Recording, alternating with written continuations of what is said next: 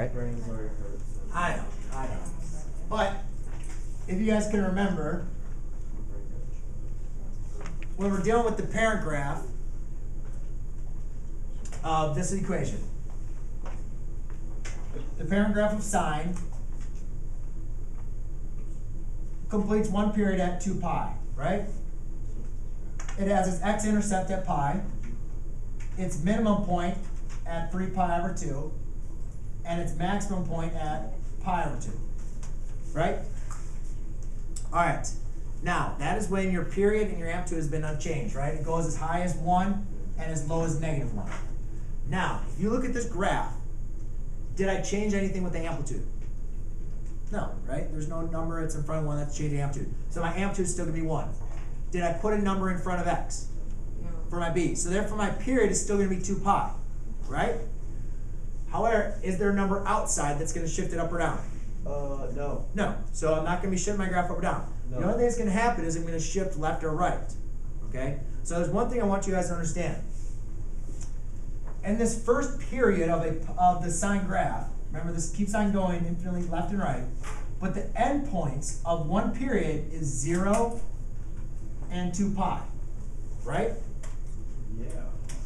the endpoints of this period are zero and two pi. Those are the those are the x um, x endpoints. So what you can do whenever you're given a horizontal translation, you want to take whatever's inside your function. So x minus pi is equal to zero, and then do x minus pi is equal to two pi.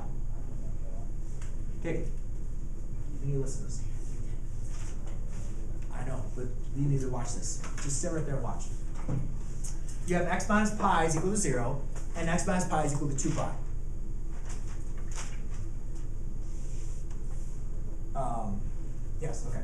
So does everybody see how you set whatever's equal in your function equal to your two endpoints? Then all we're going to do is now solve for your x.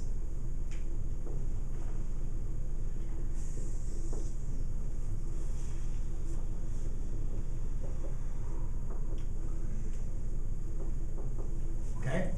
So what this now tells us is these are now your new endpoints. All right? So now, rather than my graph starting at zero, it's going to start at pi. So I'll use a different color, and I probably need to expand this graph.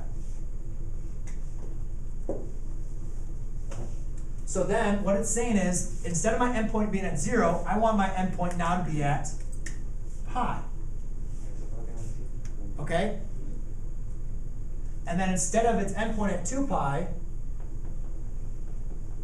now the endpoint's going to be at 3. I'll use it green. So now I'm still going to graph the exact same graph. But it's going to go up, it's going to go down, cross, minimum, intersect, maximum. Then, like I said, it says two periods, right? So you can continue, still going in the left. Okay, but you guys see what happened with this whole graph? The green is your final result. The red is what your parent graph looks like. But what I did was I shifted the whole graph, I shifted this whole graph pi units to the right. How'd you know it's pi units to the right? Well, obviously you guys see it up there. It says, you know, x minus pi. That means pi units to the right. Looking at your phone is not going to tell you that. However, to find what your endpoints are for each one, just set whatever's in your function equal to zero and equal to pi. I'm sorry, equal to 2 pi. Then you can solve and you'll find out your two new endpoints. Okay? And that's when you graph when you have a horizontal translation. Yes? So sine, the n will always be two pi, no, and then. Yep. Unless unless you have a horizontal translation. But yes, the the parent graph for sine has a horizontal or a period of 2 pi.